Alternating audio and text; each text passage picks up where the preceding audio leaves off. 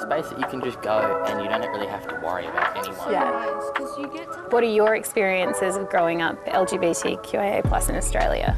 So my experience growing up with the LGBT plus community was, it's been quite positive. There's been a lot of recent things coming around that people are feeling a lot more comfortable about coming out and being their true selves and not having to like hide behind a, a wall pretending to be someone they're not. Well, my household is very accepting. I have a sibling who was born the sex of a female and they switched to non-gender and that, that's the same as me as well. We do help each other out. Do you feel like things have changed in Australia over the past few decades or even 100 years? I think it's changed a lot because you see 1975, they weren't really accepted and now I see a lot of more gay people, more trans people out. Say a hundred years ago, it was basically if you were gay or identified as someone that you weren't expected to be, people would like look at you as if you're an alien and they would disrespect you like and they would just treat you horribly. The truth is that for a really long time, Australian law criminalised homosexuality. You see, because of colonisation, early laws in Australia were based on the laws at the time in Britain, including anti-gay laws that dated back to the 16th century.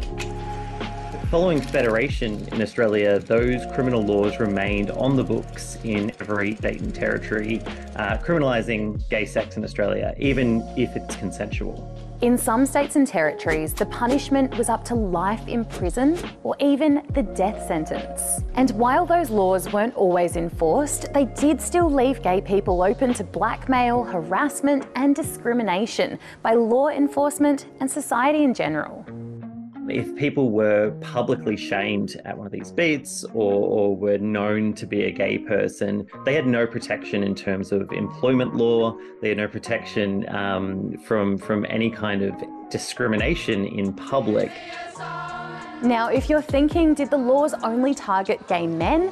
Well, yes, there have never been laws in Australia or the UK which specifically targeted gay women, although they and other sexuality and gender diverse people still experienced a lot of discrimination throughout the 20th century. I think that there was there was far more concern and fear of sex between men being potentially corruptive um, and something that all men could be tempted into and young men could be potentially corrupted by. In the 1960s, society started changing in a big way. There were growing social movements in Australia and around the world calling for more rights and freedoms for women and for black people. I have a dream.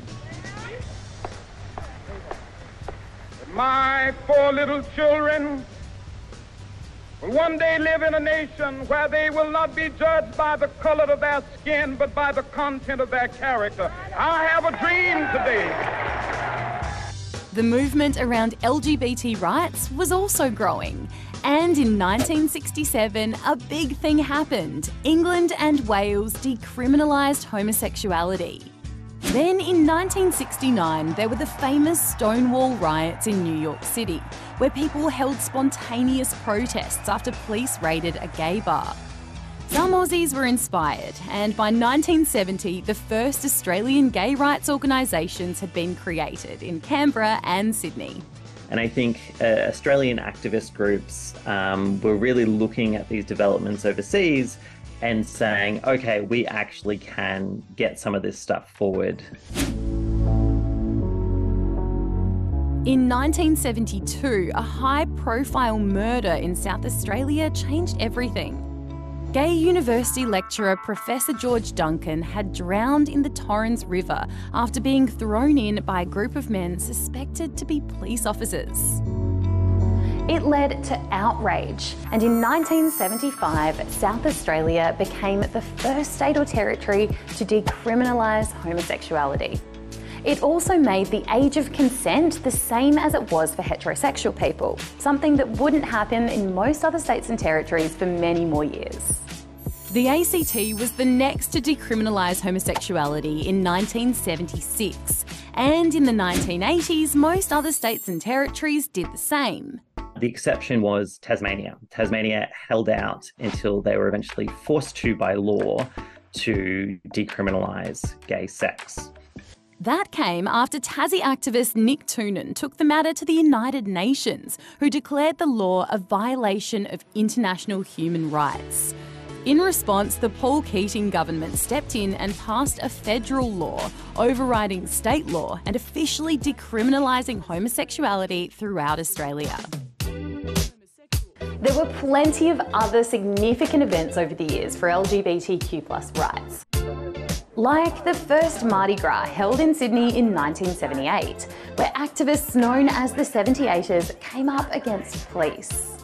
But it was the start of this huge event that's still celebrated today. In 2013, the Julia Gillard government made a big change to Australian federal laws, making it illegal to discriminate against people on the basis of their sexual orientation or gender identity. And in 2017, the majority of Aussies voted yes to legalise same sex marriage. Around the world, there are still more than 60 countries that criminalise LGBTQ people, including punishments like the death penalty. And here in Australia, while we've come a really long way from where we started, some say there's still a way to go. We've definitely become more accepting, but there's still parts of society that need to be more accepting and learn more about it. I think social media is a big problem.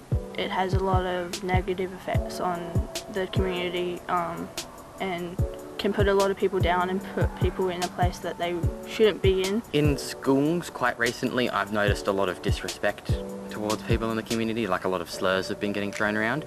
But in terms of how it's going, I'd say it's a lot better than what it was a few years ago homophobic, transphobic slurs have started like coming up again and people have started saying that. I hear it all the time now. It makes you feel uncomfortable and I would like to see changes where people feel more comfortable in their bodies. And what would your advice be to someone who might be feeling like they're struggling with their identity? Yeah, just try to stand up for what you believe and not let anyone bring you down just because of what they think. Pride means to me being in a safe environment where I can be happy and loud and proud. If you hear people calling you names or being disrespectful to you, you can report it. Just don't let that sink deep down inside and build up over time. Just tell someone about it and make a change, I guess.